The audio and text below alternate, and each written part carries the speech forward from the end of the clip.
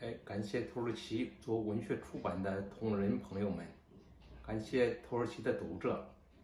呃，我在北京曾经种过向日葵，呃，当然这些向日葵长得都非常的不好，但是尽管它长不大，也长不了特别的漂亮，我还是坚持每年都在种，每年都在种，没有丰收，但一直坚持下来了。我想这和写作是呃完全一样的关系。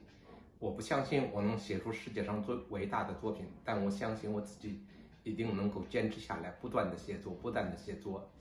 呃，今天在在土耳其读者看到的我的小说和其他的文学作品，那都是我一个坚持种向日葵的过程。呃，你也许读不到最伟大的作品，但你一定读到一种最伟大的写作的精神。